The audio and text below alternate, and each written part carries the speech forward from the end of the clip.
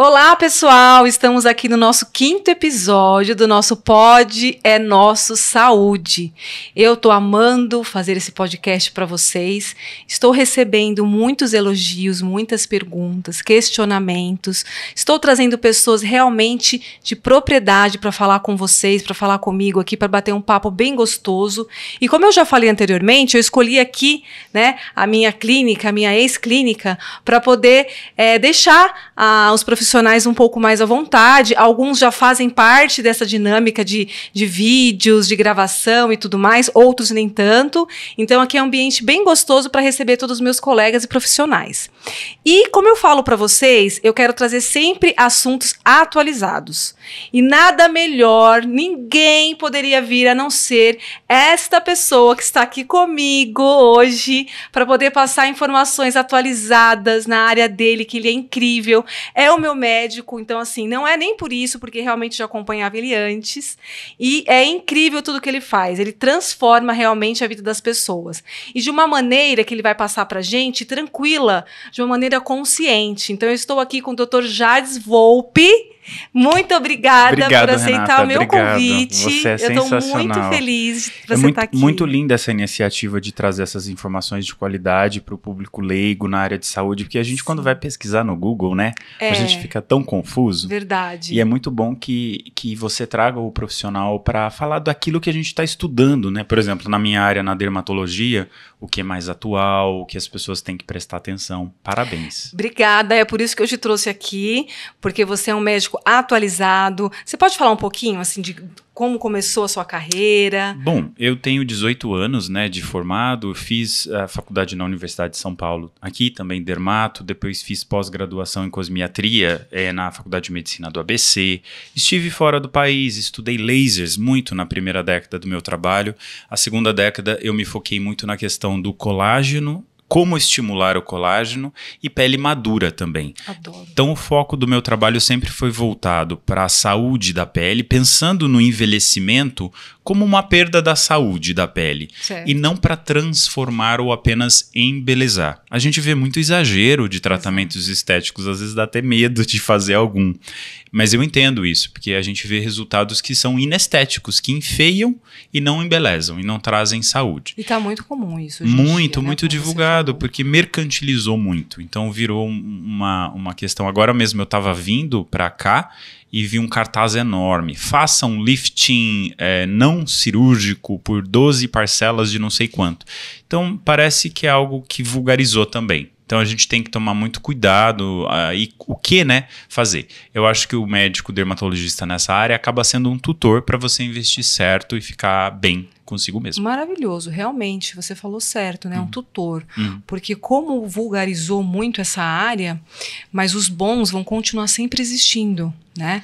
Esses profissionais como você que estuda, que vai buscar informação atualizada, Uhum. né? Que tem ali embasamento. Sim, E isso vai sempre continuar existindo é a nossa sorte. com certeza. Né, Jades? É a nossa Uhum. sorte de ter vocês como profissionais bons, assim como na minha área também. A gente busca levar uma informação séria, Uhum, né? Exato, Porque é o que eu falo, o nosso ganho é consequência do nosso trabalho. exato, né? com Quando a gente- certeza. O sucesso do seu trabalho ele vem por os resultados consistentes que você apresenta e a seriedade, a credibilidade. Eu acabei, até eu quis vir agora nesse período aqui no podcast, porque eu acabei de chegar de Nova Orleans. Eu a gente sei. teve A gente teve um, um congresso muito especial da área e com muitas novidades. Realmente, o período da pandemia foi um período em que muitos cérebros foram fomentados e muitas coisas novas desenvolvidas, principalmente em relação a novas tecnologias. Certo, Incrível, é muito bom. mesmo. Isso ajudou um pouquinho as pessoas a estudarem mais, Mais, né? com Que certeza. legal. E eu me interessei também por você estar aqui, porque você cuida de muitas mulheres. Uhum. E o meu público, ele é mais de mulheres, Sim. né? Você cuida de homens também, Também. né? uhum. Mas assim, acho que a maioria é mulher. É, 80% é do público feminino. As mulheres se cuidam mais não só na dermatologia, mas É na saúde de uma maneira geral. Sim. Esses dias eu tava vendo que talvez o homem tenha uma sobrevida menor porque ele se cuida menos. Ele dá menos atenção aos sintomas e sinais que o corpo dá. Mas o público masculino vem aumentando também é, paulatinamente nessas últimas décadas. Sim, eles estão se cuidando bem mais. Né? E eles buscam resultados mais naturais. É isso que a gente fala. Quando a gente pensa em um tratamento, seja ele estético ou dermatológico, a gente pensa em embelezamento, claro, mas também em prevenção do envelhecimento acelerado. Isso que é o mais importante. Todo mundo quer envelhecer é uma dádiva, porque a é outra opção é morrer jovem. É verdade. Então é bom que a gente envelheça, mas que a gente envelheça com saúde, vigor, energia e também, por que não, uma aparência mais saudável. É verdade. Né? É, em relação à mulher, então eu já vou te jogar assim uma, uma pergunta que eu sigo você e é interessante você falar sobre isso porque é um procedimento, não sei se eu posso chamar de procedimento, o fenol, uhum antigo, Sim. né? Uhum. E você voltou aqui à tona sobre isso, sobre esse assunto, né? Isso. Que as mulheres aí que têm mais idade já conhecem, né, sobre o fenol, Sim. né? Eu já vi, nunca fiz, uhum. mas já vi pessoas, mães de amigas e tal. Uhum. E eu queria que você falasse um pouquinho dessa novidade do Sim. fenol. É, parece que foi um tratamento revisitado, né? Porque eu, você está mencionando sobre um peeling profundo de fenol, em que a gente aplica uma substância na pele e remove todas as camadas na pele, até derme reticular. Com isso, a gente faz um reset na pele, a gente troca a pele e estimula muito a produção de colágeno. É, o que mudou? É que antigamente, em 1920, as atrizes de Hollywood elas desapareciam e voltavam depois de dois meses lindas. As uh, aplicadoras de peelings, chamada lay peelers, eram esteticistas, não médicas, tá. que tinham uma fórmula secreta e faziam esses peelings é, em seus consultórios. Uau. Um médico, na década de 60, comprou esse peeling. Na verdade, ele era feito em Los Angeles e em Miami. O Baker, Dr. Baker, comprou a fórmula e abriu a fórmula e descobriu que tinha um fenol, né? E começou a fazer esses peelings bem agressivos. Porém, o peeling de fenol tradicional Baker é muito agressivo, ele é muito, muito forte mesmo, e ele não dava bem para todos os tipos de pele. O que aconteceu é que na década de 2000, 2005, um outro médico, o Dr. Gregory Hatter, ele estudou de novo a composição e descobriu que não era o fenol que fazia o efeito, e sim uma resina chamada croton. Então hoje o que a gente faz mais é mais um peeling de croton do que um peeling de fenol propriamente dito. E a gente consegue variar a concentração, deixando o peeling menos agressivo e é, individualizado de acordo com o que a gente quer tratar. Ele não é preventivo. Ele tá. é um peeling que a gente usa para tratamento de fotodano, fotoenvelhecimento, rugas, flacidez, pele envelhecida. Eu posso até mostrar algum caso para você aqui. Perfeito. Eu vou trazer alguns casos, por exemplo, dessa senhora que era fumante e tinha um enrugamento muito grande, nenhum laser, nenhuma cirurgia ia conseguir melhorar. E a gente fez, eu vou mostrar o resultado aqui depois de 30 dias, porque ela fez recentemente, para vocês verem. A pele dela ainda está um pouco vermelhinha, um pouco escurinha, mas isso tudo desaparece. Tá. E forma muito colágeno. Então, é, ele é um tratamento que, quando há muitas rugas profundas e estáticas, é muito bem feito. Agora, algumas coisas importantes. Certo. Ele pode ser feito só em áreas localizadas, como ao redor dos olhos, para pálpebras, que funciona muito bem. Existe uma técnica que a gente aplica até na pálpebra superior, que é chamada de blefaropeeling, que substitui uma cirurgia de retirada de pele nessa região, tá. substitui a blefaroplastia arrugas embaixo também dos olhos e também no código de barras. Ele pode ser feito isso em consultório. Mas isso é só quando existe a, a vamos dizer, a lesão ou, quando ou existe a alteração. A ruga, exato. Quando existe a ruga, quando existe a flacidez da pálpebra ou o código de barras. Tá. Agora, para se fazer no rosto todo, é importante que se faça com monitorização cardíaca. Então, Perfeito. acompanhada dessa monitorização, porque o fenol pode, em casos muito raros, gerar leves arritmias no coração.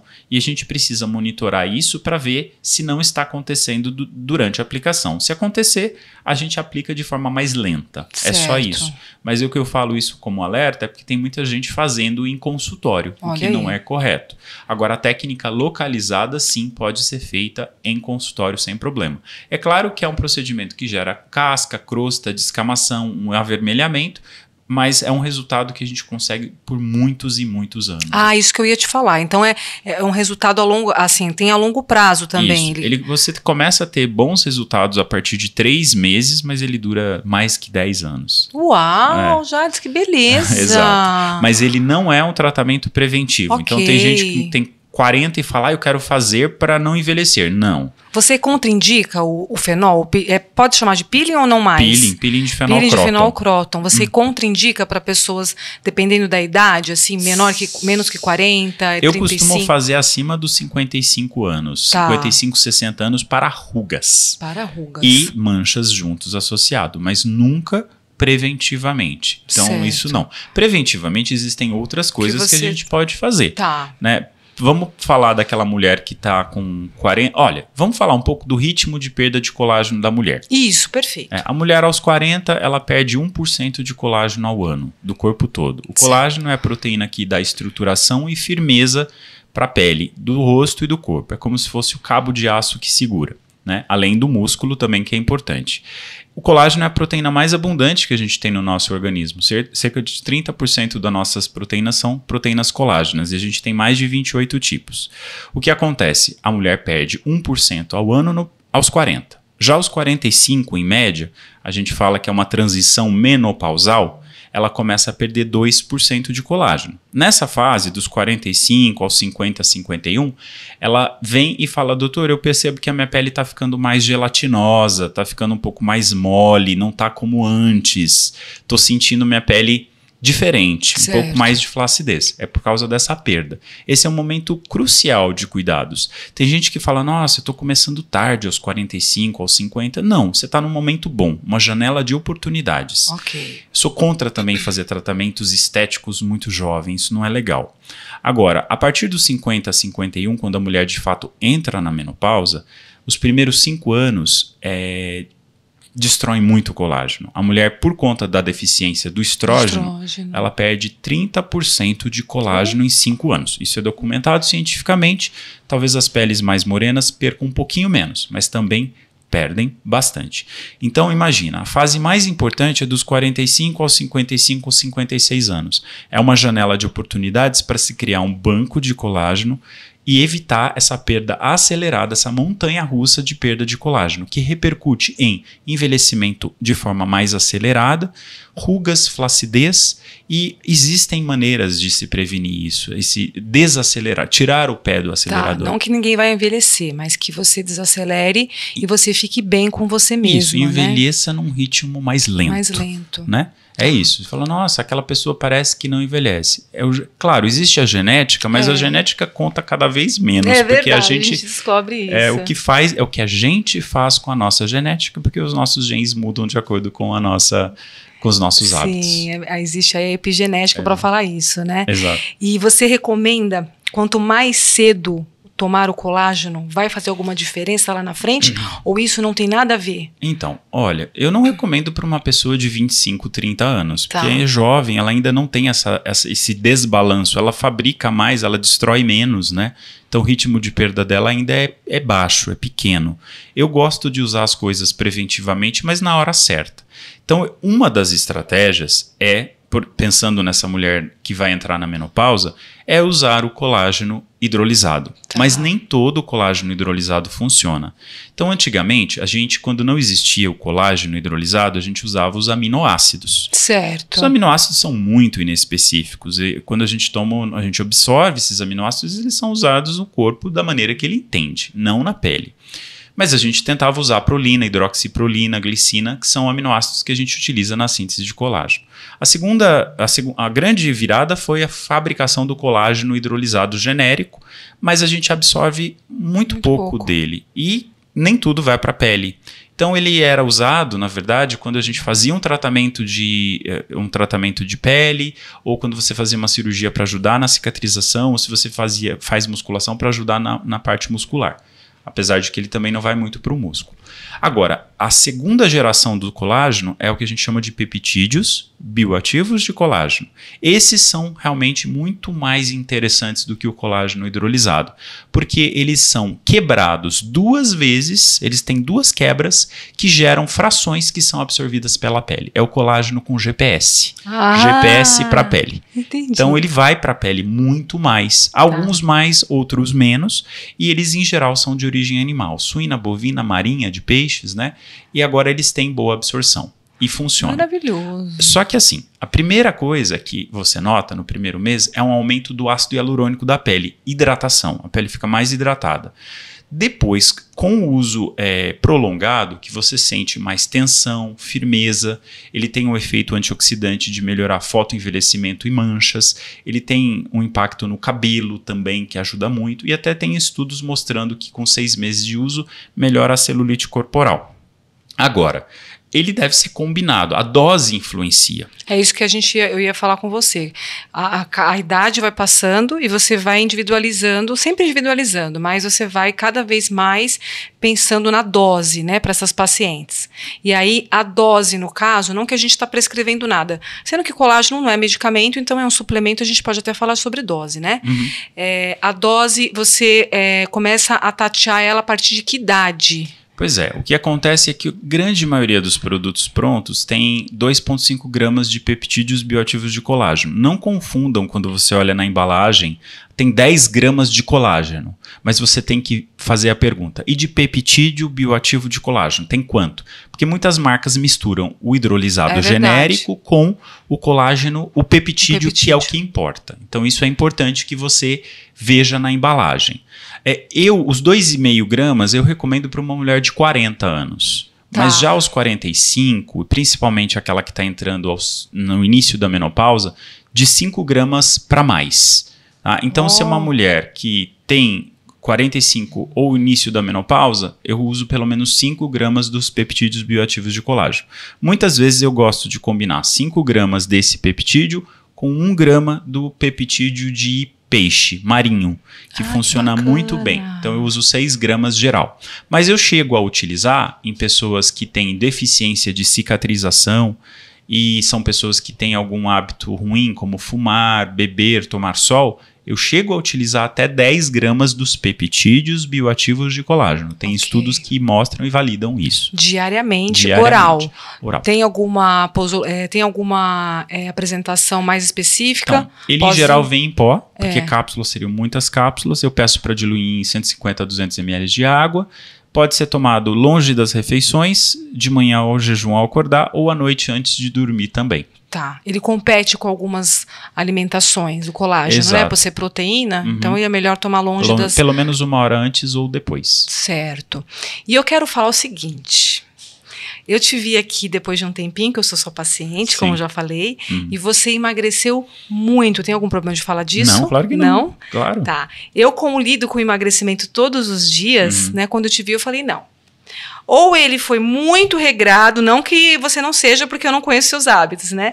Ou você fez balão, ou uhum. fez bariátrica, porque você emagreceu quase 60 quilos, não De foi gordura. isso? É. De gordura. É. Eu quero entrar nesse assunto, porque, gente, eu recebo muitos pacientes aqui que acham que depois de 30 quilos que você tem que perder, hum. você tem que entrar numa faca. Não. Eu Olha posso até mostrar minha foto de como estava antes e vou mostrar uma foto agora. Você se incomoda? Não? Tudo de bem? jeito nenhum. Vamos mostrar pro pessoal.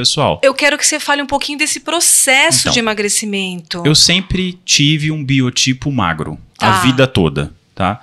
Então eu, eu pesava o peso que eu peso agora, de 89 quilos, tenho 1,84m. É alto. É. E uh, o que aconteceu é que eu tinha pouco músculo. Então, em 2016, eu desenvolvi um problema no meu romboide por baixa musculatura. E a gente fala muito pouco da importância do músculo na nossa vida. Como médico dermatologista, eu fazia muitos movimentos manuais com lasers e injeções e eu acabei tendo uma, uma síndrome miofascial do romboide que me gerou uma dor crônica por um ano e meio e eu tratei com diversos especialistas. Mais dor crônica, eu precisei utilizar um medicamento para a dor crônica, para dessensibilização. Eu fiquei ótimo, a dor crônica passou e eu consegui me reabilitar. Porém, eu continuei usando esse medicamento por mais tempo e eu fui engordando com o uso contínuo dele prolongado. E mesmo assim eu fazia uma alimentação equilibrada, nunca comi carne, fazia, não sou de beber bebidas alcoólicas, tenho hábitos saudáveis, mas eu fui engordando, mas não desconfiava que era ele.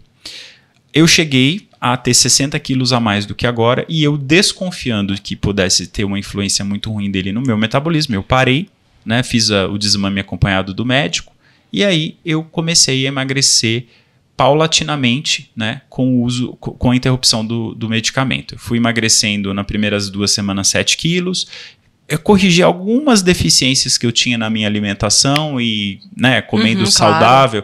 Eu comecei fazendo uma dieta mediterrânea low carb, mas eu acho que cada organismo vai bem com uma dieta. Tem gente falo. que vai com a cetogênica, eu para mim não dou certo com a cetogênica, mas para mim a mediterrânea low carb foi muito bem. Hoje eu não tenho low carb, hoje eu como bastante carboidrato para ganhar músculo, mas também com acompanhamento, né? Ok.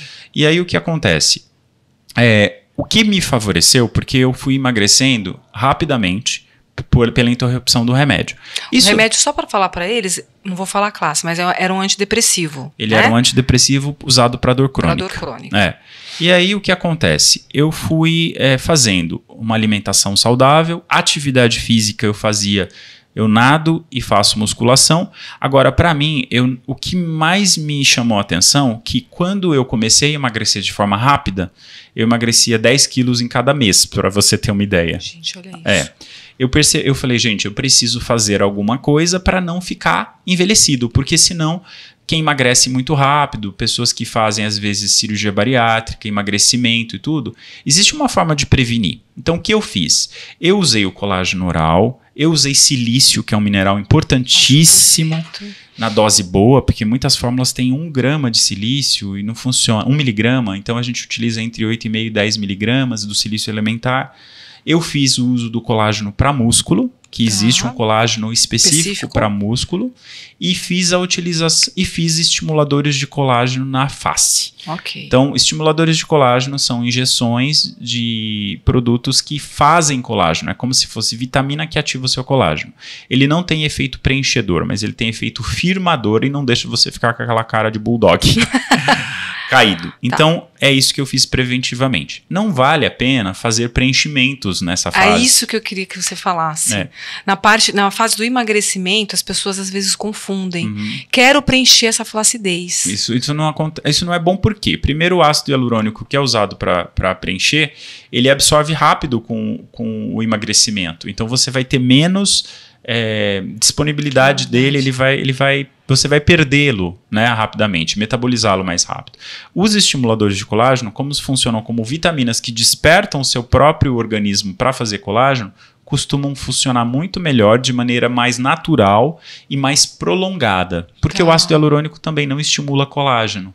Então a gente não quer volumizar, a gente quer ter, na verdade, uma pele mais espessa, Tá. mais firme. Então eu recomendaria que a pessoa faça até preventivamente e fosse acompanhando, assim, mês a mês, de acordo com a perda dela de peso, a, a, a relação colágeno e pele também, que isso é muito importante. Muito Não importante. esperar emagrecer tudo.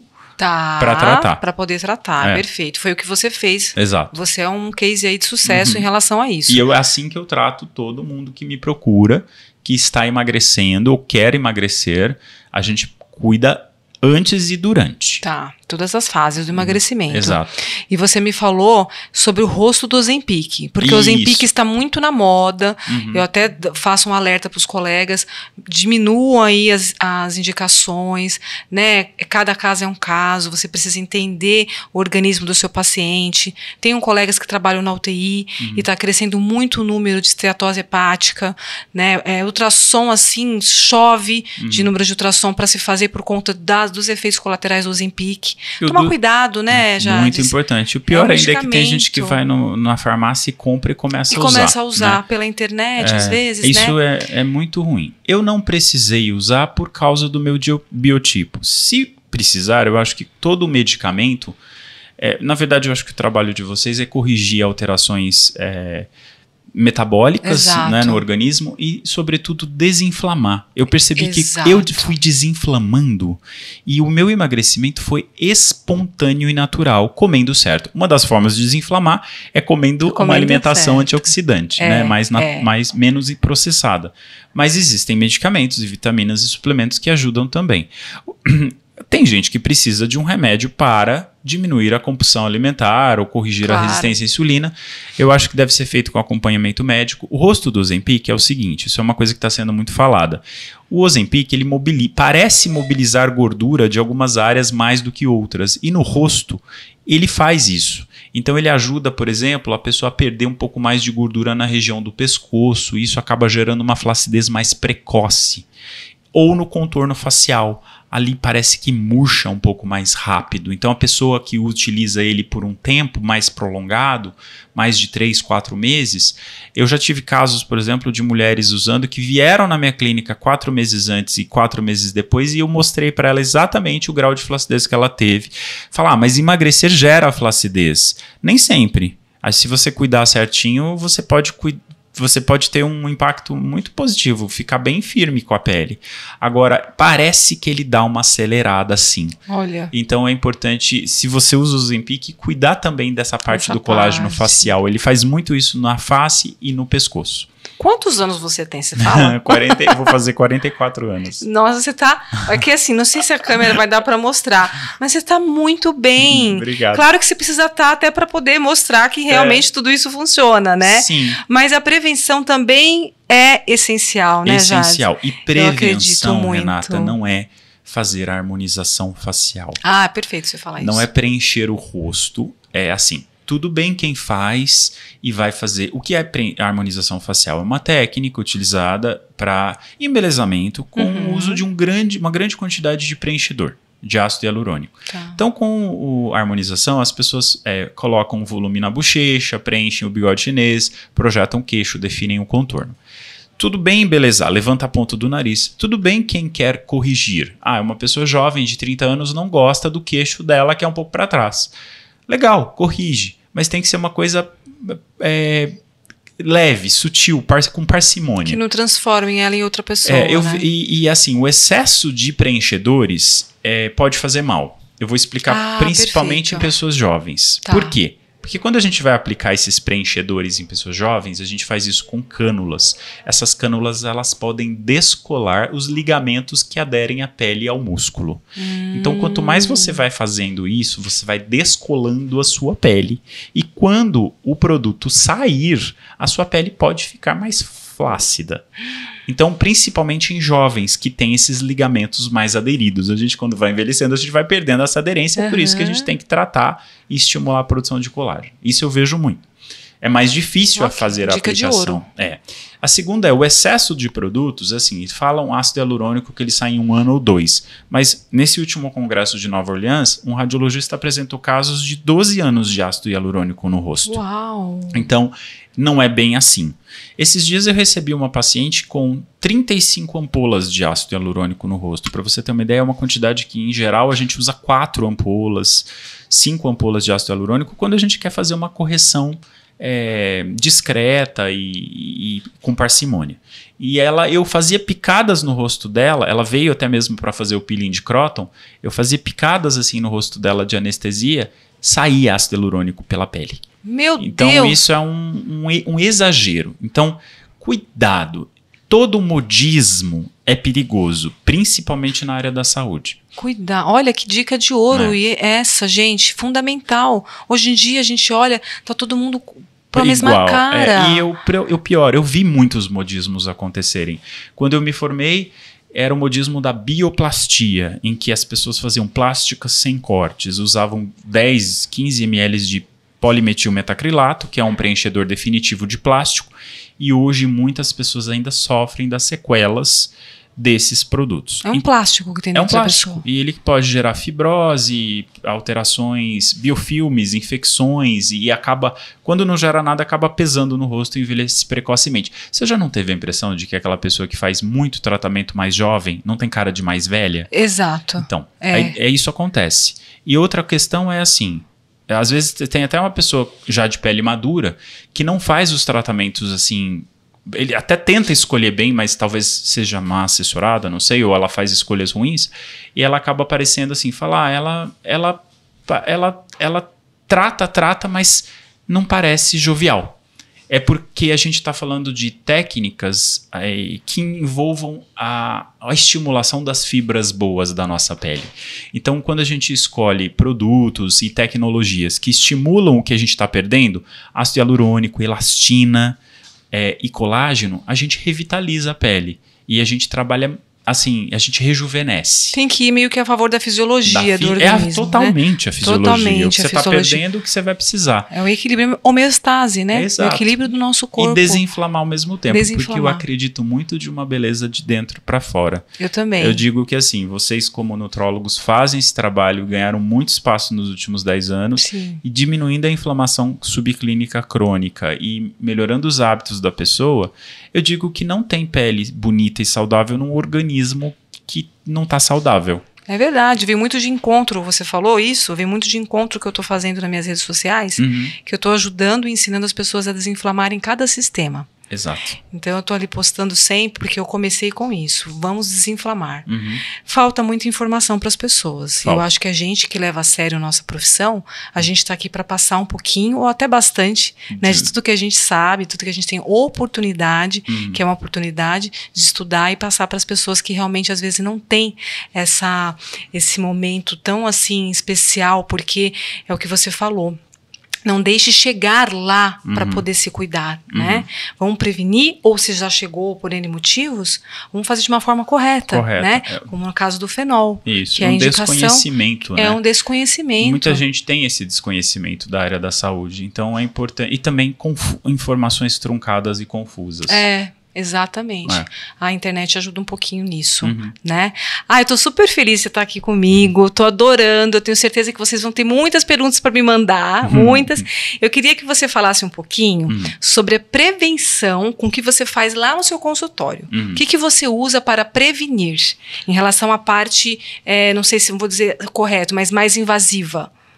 Em relação ao envelhecimento Ao da pele. envelhecimento da pele, É. exatamente. Prevenir o envelhecimento da pele. Olha, uma- vamos pensar numa uma mulher de 25 anos. Tá. Ela não precisa de muito, mas se ela quer prevenir o envelhecimento, o que a gente chama hoje de prejuvenation, que as mulheres estão muito preocupadas porque elas viram as suas mães tratarem, ela precisa usar o básico, ela precisa lavar a pele com um produto é, que não seja muito alcalino, então nada de sabonete em barras, sabonetes líquidos de acordo com o tipo de pele, se é uma pele mista, oleosa ou seca. Usar um protetor solar, que é importante, e no máximo uma hidratação com um antioxidante. Então ela pode utilizar uma vitamina C de manhã, pode usar um hidratante à noite e tá tudo certo. Já aos 35, esses cuidados precisam ser melhorados, porque o ritmo de perda de colágeno acaba sendo um pouco maior. Então aí talvez seja um bom momento dela começar a cuidar, aumentando o skincare, a suplementação entra muito bem nessa idade e Tá. também algumas tecnologias que estimulam o colágeno. Nessa fase, ela não perde tanto colágeno, mas a renovação da pele, que acontece de forma mensal, ela fica mais lenta e mais comprometida. Então, a, a mulher aos 35 nota que a pele dela não tem o mesmo viço, o mesmo brilho, já começa a ter algumas manchas, algum sinal de fotoenvelhecimento, e as primeiras ruguinhas finas podem surgir em áreas de muita movimentação facial, como a área dos olhos. Então, nessa fase, eu oriento a pessoa a, a usar e a estimular e a tratar em consultório com tecnologias que ajudem na renovação celular e a desinflamar a nossa pele. Né? Essas tecnologias seria laser. Lasers, não ultrassons, Tá. luzes, é, não necessariamente lasers agressivos. Ok. Eu não acho. Eu tenho uma postura de quanto menos agressividade tiver, melhor, porque menos inflamação você vai causar. Ok, Mesmo verdade. inflamação aguda. Existem casos que a gente precisa de uma inflamação aguda controlada e limitada para provocar o estímulo de colágeno. Mas essa mulher, por exemplo, ela pode prevenir usando tecnologias, é, Uhum. basicamente tecnologias que não agridem a pele nessas regiões. Em alguns casos, a gente utiliza revitalizantes, estimuladores de elastina que funcionam super bem nessa fase, muito, muito bem, que são aplicados na pele e Tá. melhoram o rejuvenescimento e a prevenção. Ele é muito bom para o rejuvenation. Ok. E já aos 40 a gente tem que ter mais foco em relação ao colágeno. 45, muito foco. Eu digo que se a mulher tiver que escolher uma faixa para cuidar é dos 45 aos 55 anos. Porque a mulher brasileira, ela entra na menopausa em média aos 51 anos de idade. Uhum. Claro que existe uma variação. Sim. Mas aí é, tem que ficar atento. Tem mulheres, por exemplo, que eu vejo como dermatologista que, quando bem indicado e feita de maneira correta, a reposição, a modulação hormonal é, bem precisa, ela é muito, ela é muito É um coadjuvante também de tudo isso, forte, né? É. O que eu vejo só é que tem médicos que adiam muito essa, essa reposição. E aí a mulher ela entra na menopausa, fica dois, três anos no início da menopausa, sendo que ela poderia ter começado até um pouco antes de entrar de, de fato. menopausar mesmo, né? Ali no climatério, talvez, Exato. né? É, é o ideal mesmo, é uma, uma é cuidar mesmo, ou com o nutrólogo, ou endócrino, ou seja, com o ginecologista, mas procurar. Eu vejo vocês nutrólogos muito antenados nisso. É, nós somos. Muito antenados nisso. Eu acho muito legal é, essa, essa, essa visão de prevenir também. Eu acredito muito na medicina preventiva. Uhum. Quando eu me formei há qui- 14 anos atrás, eu já gostava dessa medicina preventiva, já, isso já me, me instigava, Uhum. né? E hoje eu vivo isso. Uhum. Então, por que não esteticamente falando? É, né? é- é a promoção de saúde, É a né? promoção, exato. É. E quando eu falo esteticamente, não é só realmente o que você vê, não. Você trata de dentro para fora. Por dentro, né? é, uma dúvida, até, até uma, pode ser uma curiosidade do pessoal que está assistindo. É, até onde que vai, em que camadas da pele que vão esses ativos que você aplica? Vai Bom, até em qual camada? Isso é bem Ótimo. legal, eu né? vou falar, então, eu vou falar rapidamente sobre a questão da menopausa e te explico isso. Tá. Então, assim, para pele madura ou na transição menopausal e menopausa inicial, eu tenho, eu penso em quatro coisas como pilares de cuidados com a pele. A reposição hormonal, quando bem indicada, feita por profissionais como vocês, eu, né, eu oriento. A segunda, eu utilizo os hormônios tópicos na pele, no skincare. Beleza. Estriol, progesterona tópica. Tem um estudo mostrando que a progesterona tópica na área dos olhos reduz em 30% as rugas. Então existe, existem muitas coisas que podem ser utilizadas. Os, pré- os fitoestrogênios. A terceira coisa, a suplementação. Colágeno de três fontes, é, dose correta, silício antioxidante, ceramidas orais para quem tem uma pele mais seca. E uma dica que eu dou: ah, eu tô na transição menopausal e tô no, eu não sei se eu tô se eu já tô com alterações hormonais. A primeira coisa que a mulher costuma sentir é uma mudança crônica na hidratação da pele do corpo. Ela Do nota corpo. do corpo. Ela nota que a pele do corpo começa a ficar mais seca do que antes durante um tempo. Não é assim, ah, ficou seca essa semana só. Tá. Não. Ela ficou cronicamente mais seca. Esse é o primeiro sinal de alteração estrogênica, porque o estrógeno, onde ele mais atua depois do, do ovário ali, é na pele. Na pele. É, tá. onde tem mais receptores. Receptores, E depois ok. sistema nervoso central. Né? Então isso é importante, essa dica é muito legal. E a quarta coisa, entram os tratamentos em consultório. De tratamentos em consultórios, a gente tem que ficar ligado em três coisas. Na perda de colágeno, como que a gente trata isso? Estimuladores injetáveis de colágeno, tecnologias. Quando eu falo tecnologias, ultrassons, ultrassom de onda paralela, lasers, luzes, enfim, um arsenal que a gente tem Tá. é, número- de, de acordo com cada tipo de pele. Número 2, sustentação óssea. A gente perde osso quando a gente envelhece. Uma mulher aos 60 anos, comparada com ela mesma aos 18, ela perdeu, em geral, 250 ml de osso só na face. É um, um pouco menos que essa xícara. E isso Meu faz com que sobre mais pele e tenha menos osso. Então o conteúdo e o continente se alteram. Então a gente precisa fazer aplicações no osso. Você me perguntou aqui, ah, você É. trabalha só na pele? Não. Eu trabalho no osso, no músculo e na pele. e aí Perfeito. entra o terceiro, o terceiro elemento que é a, a- a- da consistência, eu falei da perda de colágeno, sustentação óssea e o reposicionamento do músculo. O reposicionamento do músculo, a gente tem uma rede chamada SMAS, que é um sistema aponeurótico da nossa pele, que existe só na- no rosto, que a gente consegue levantar com linhas de colágeno, fazendo uma aplicatura desse, desse SMAS com linhas. É um procedimento de 40 minutos feito em consultório Ok. cujo resultado é imediato. Eu até vou mostrar aqui para vocês um resultado imediato. É uma técnica chamada soft lift. E eu tenho essa elevação da musculatura e dura dois anos. Gente, Então é que incrível. A gente trata tudo isso. incrível. Aí você deve estar se perguntando, Renata, e com esse arsenal todo, né, Jardes? é, quando entra a plástica, olha, a cirurgia plástica, o lifting facial, com tudo isso preventivo, a gente consegue adiar bastante. Qual que é a questão de adiar a cirurgia plástica? É que a primeira cirurgia pode ficar ótima, mas ela também não dura. A cirurgia plástica, o lifting não é um fim, é um meio. Então você vai esticar o músculo e a pele, tirando a sobra de pele, mas ela vai durar alguns anos. E se você não tratar a pele, ela- a pele vai cair mais rápido. né? Então, o que, que acontece? A qualidade da pele não melhora, você estica só a pele.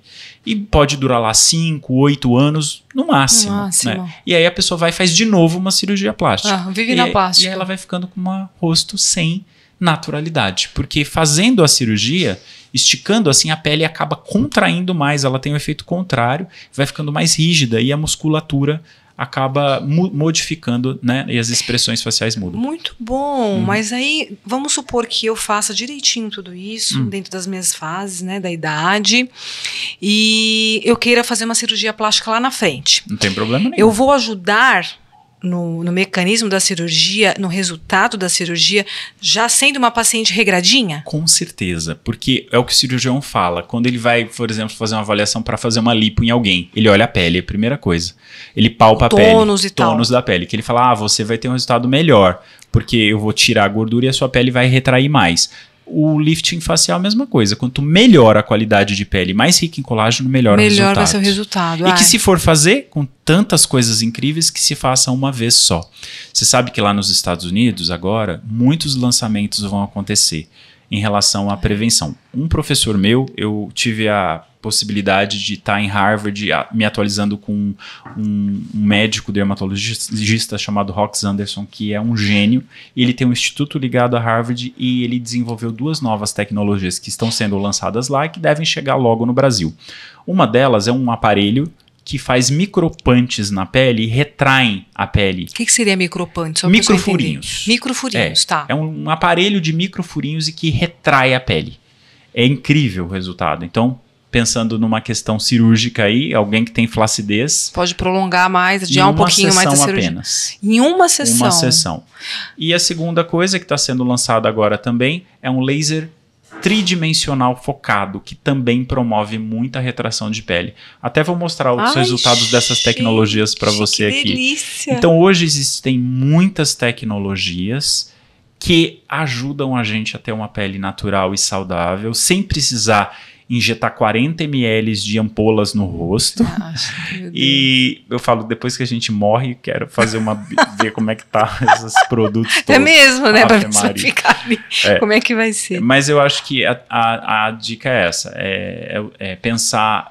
Precisa-se de um método, né, para se cuidar, principalmente de uma pele madura. E, e é importante tanto a prevenção. Ah, mas eu tô atrasada, doutor. Eu tenho 60 anos, eu nunca me cuidei. Tem, é política de redução de danos. Dá para fazer muita coisa. Uhum. Claro que talvez a pessoa vai precisar investir um pouco mais, porque ela vai precisar fazer todas as etapas que alguém foi fazendo ao longo da vida. Mas é, a gente consegue. Ou entra talvez o peeling de Croton que eu te falei, se a pele é Ah, muito bacana. envelhecida. É um investimento, né, É. para nós, né?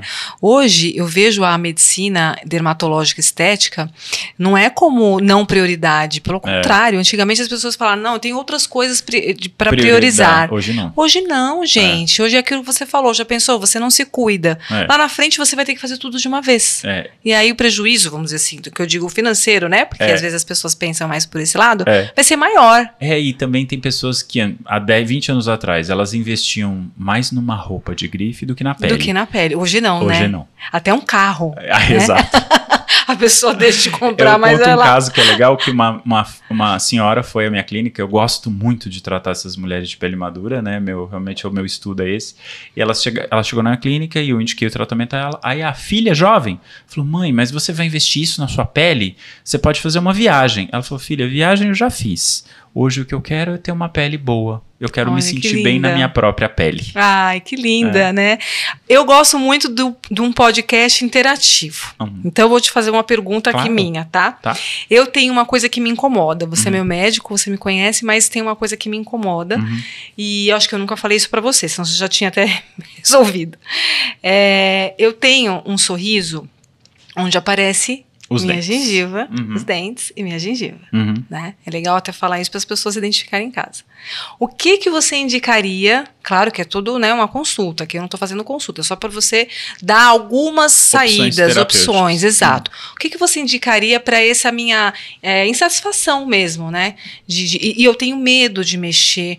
Nunca fiz harmonização Uhum. facial no rosto Uhum. tal. Uhum. Então eu tenho medo de chegar lá e falar, ai, coloca a boca. Uhum. Ai, faz isso, faz aquilo.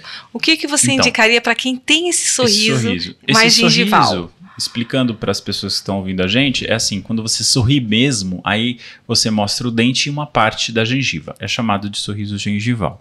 Bom, existem técnicas que funcionam bem. Então, a primeira delas, isso acontece porque há uma força muscular grande nos músculos elevadores do, do lábio. A gente pode relaxar esses músculos aplicando a toxina botulínica não no lábio, mas sim em áreas específicas para esse músculo não ganhar força. Isso a gente consegue baixar o sorriso.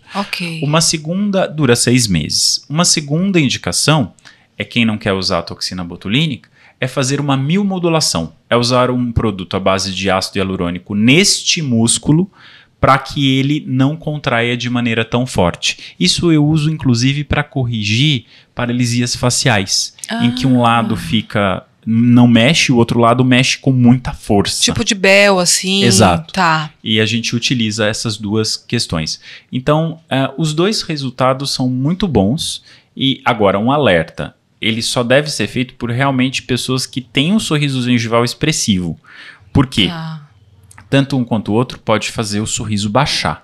E se o sorriso for muito, se o sorriso gengival for muito discreto, pode ser que o res resultado estético não vale a pena. Entendi. Então é sempre no músculo aqui em cima. Em cima, Nunca exato. na própria boca. Nunca na o própria problema boca. não é a própria não boca. Não é a boca. São é os músculos sustenta. elevadores do lábio superior. Tá. E você não indicaria preenchimento neste caso? Não, Tem nada a ver nenhum. uma coisa com a não, outra. De jeito nenhum. Tá. Nunca. E nem mexer no dente. Não. nem mexer no dente. dente. Nem mexer no dente. Tá, entendi. De jeito nenhum. Porque é uma coisa mais harmônica, É, né, Jazz? Uma coisa natural nenhum. e fisiológica. Ai, que bacana. Eu tô vendo que você quase não tem linha de expressão aqui, ó. Você ri pouquinho, a coisa é bem fisiológico Mas eu mesmo. vou contar uma particularidade. Ah. Eu não gosto de usar botox ao redor dos olhos. Ah, você não usa, né? Não, e nem em mim, nem nos pacientes. É, eu- porque a pessoa fica com um sorriso diferente. Fica com um sorriso em platô, em prateleira. Quando sorri, a bochecha vem pra frente. Fica com uma expressão me- meio amarrada. Isso não é legal. Tem gente que vocês devem conhecer de personalidade e fala: Nossa, parece que ela preencheu a bochecha. Não, ela colocou botox na, na área dos Na área olhos, dos porque a bochecha olhos. parece maior. E tem uma outra questão: dura muito pouco e ao redor, ah, quando a gente paralisa a lateral dos olhos, as ruguinhas embaixo dos olhos pioram. Então eu prefiro usar uma estimulação de elastina. Tá. Então a gente usa um produto aplicado nessa região que faz uma estimulação de elastina e aumenta a força da pele frente ao movimento, sem paralisar o movimento. Ou seja, a pele você sorri, mas quando para de sorrir você não tem a ruga formada. Tudo na parte da fisiologia. Esse homem é demais. Gente, uma única pergunta aqui. Olheira. Olheira. Que deve ser assim, né? É um problema de muita gente, né? Isso. Hum. O que, que você indica para olheira? Bom, nós temos olheiras quando a gente fala que são agudas, uma noitada, né, alguma coisa. Essa não trata. E segunda crônica, que pode ser racial, o biotipo da pessoa ou até mesmo alterações respiratórias. Pessoas que têm desvio de septo, rinite e não tratam isso, podem ter, ter alterações da microcirculação local e uma deposição de hemoglobina, né, o, Aham. o pigmento do ferro. Olha, existem lasers que a gente utiliza para tirar esse pigmento do ferro, que é um quelante de ferro. A vantagem é que a gente tem melhoras, mas a desvantagem é que a gente tem que fazer uma manutenção depois que a gente tiver o resultado. Principalmente se você tem rinite ou desvio de septo, porque é isso que acaba gerando a olheira, ou se for racial. Uma outro tipo de olheira é aquela olheira por olho fundo. Então Ah. você vai ficando com o olho fundo. Uma Como é das que vai ficando com o olho fundo? a bochecha cai e o olho fundo aparece. Ah, ok. Você vai perdendo, né? a aqui, sustentação da bochecha. Então, ao invés de preencher a bochecha, ah, de preencher a área dos olhos, que isso é uma das coisas que eu vejo muito problema, porque cria-se bolsas na região, principalmente gente jovem que está fazendo, depois de meses fica com edema nessa região linfática. Eu já vi mesmo. Muito complicado. O mais interessante é estimular a produção de colágeno para as bochechas subirem ou usar linhas de colágeno que são aplicadas que têm efeito preenchedor. Qual a diferença? Um é um gel que ocupa um volume. A linha de colágeno é uma pequena linha, parece um fio de cabelo e que vai liberando o colágeno ao longo de um ano de forma gradual. Ele não comprime o sistema linfático, ele preenche o fundo e não gera bolsa. São os fios, não? Não, são linhas lisas São linhas de colágeno, mesmo. feitas de caprolactona. São linhas que fazem colágeno, de caprolactona e ácido polilático. Que é, é invasivo, Injetável. injetável, Uhum. que você passa a linha. Isso, aplica a linhazinha com uma pequena microcânula. É um tratamento de 15 minutos Tá. e que realmente revitaliza, é um revitalizador. Melhora o fundo do olho e as linhas finas. O, o fio, no caso, Uhum. você acredita no fio? Depende do fio. Hoje existem muitos fios de PDO. O PDO é um produto. O fio é bom, mas o PDO é um estimulador de colágeno muito fraco. então as Ah, pessoas olha. fazem, tem resultados que duram dois meses, mas depois ele some. Porque ele caracteristicamente tem uma duração de 3 a 4 meses no máximo. Eu gosto muito das linhas de colágeno que levantam o músculo, que reposicionam, e pessoas jovens. Eu utilizo muito as linhas de revitalização. Então, ah, eu, eu tenho uma área que tem mais flacidez. Ao invés de preencher, eu estimulo colágeno, e uma das formas de estimular colágeno seria com laser, com estimuladores injetáveis líquidos ou linhas que estimulam colágeno. E sim, existem fios, principalmente alguns que estão chegando no Brasil em breve, que reposicionam muito bem a queda da gordura facial, que tem uma duração média de um ano e meio a dois anos, e os resultados são muito naturais. Tá, então para você estar em dia com a sua pele, pelo menos uma vez ao ano, você Isso. precisa estar passando com o seu dermatologista. Olha, eu digo que se você tem até 45 anos, uma vez ao ano. Se você tem acima de 45, o ideal seria duas, Duas vezes, vezes. ao ano, até a- o s- final dos cinco primeiros anos da menopausa. E a mulher Até aos o 60, uma a duas vezes ao ano. Tá. Agora, é, se é uma mulher de 60 que nunca cuidou, talvez a gente precise um pouco mais no começo, depois a gente faz uma, duas vezes ao ano. É, é engraçado porque a mulher que está com 60 anos, ela perde a mesma quantidade de colágeno do que a mulher aos 45. 2%. É A perda de colágeno é, é muito acelerada é na- nos três anos antes do início da menopausa e nos cinco anos iniciais da menopausa. Que ela perde tre- 2% nos primeiros 2% ao ano, nos três primeiros Primeiros. anos, e 30% em cinco anos. Então, o que acon- a diferença entre a mulher dos 45 aos 60 é que se a mulher aos 45 cuidar, ela vai desacelerar a perda e não vai ter chegado aos 60 com uma perda tão grande de colágeno. É isso que eu chamo construir um Construir banco de colágeno. Ok, que lindo! Isso você está falando para mulheres que não fumam. Isso. Que, Hábitos que tem um- bons. hábitos bons, porque Uhum. para quem fuma aí é outro cuidado, Aum- né? É, o cuidado é a gente usa o Tá mesmo conceito, mas talvez a gente tenha que individualizar as prescrições e a dose das estimulações de ah, colágeno. perfeito, que ótimo. Jades, eu adorei. Adorei, ficaria aqui mais duas, três horas, mas eu sei que você tem seus pacientes também, que você vai Obrigado, atender. Obrigado. Foi muito bom. Você quer deixar alguma dica pro pessoal que está assistindo, para as mulheres, principalmente? Eu quero, eu quero deixar a seguinte dica. Eu sei que quando a gente fala em pele e cuidados, tudo parece um luxo, mas isso não necessariamente significa luxo. Eu tenho pacientes, por exemplo, que priorizam os cuidados. Ao invés de investir em uma coisa mais menos importante para ele, ele investe no cuidado com a pele. O primeiro recurso para investir bem nos cuidados com a pele é a informação de qualidade. Então preste atenção em pessoas que dizem coisas para você que parecem fazer sentido e faça suas próprias anotações sobre aquilo que você está aprendendo e procure profissionais que sejam bons tutores para você nessa caminhada. Perfeito, gente. Por isso, olha, que eu trouxe o Dr. Jades Volpe, não, te- não poderia ser outra pessoa nessa área. É, realmente, assim, foi fantástico o nosso pódio. Adorei Obrigado, de verdade, obrigado, de coração. Obrigado. Sabia que ia dar tudo certo, que ia ser ótimo. Obrigado.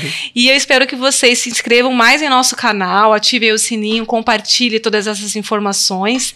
E muito obrigada pela audiência. Nosso canal está sempre aí crescendo cada vez mais. Obrigada porque vocês que fazem esse canal crescer e existir também. Obrigada. Muito bom, Obrigado. gente. Eu amei, gente. Gostou? Adorei as informações. Foi incrível, incrível. Não deu nem tempo de tomar seu chazinho. Não.